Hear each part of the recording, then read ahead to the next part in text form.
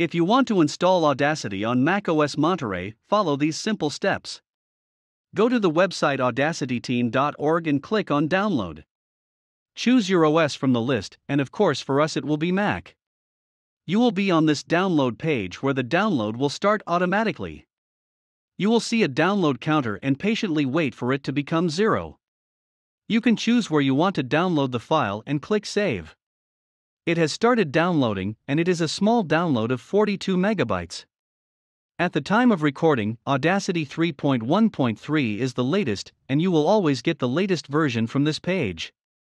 Wait for the download to be finished and click on Show in Finder after the download is complete. You will see the Audacity DMG file and double click to open it.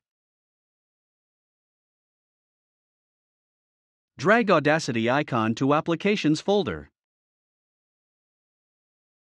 I already had an installed Audacity, so ask me to replace it. If you are installing for the first time, you won't see this message. When copying is done, you are ready to use Audacity. Open the application launcher and search for Audacity.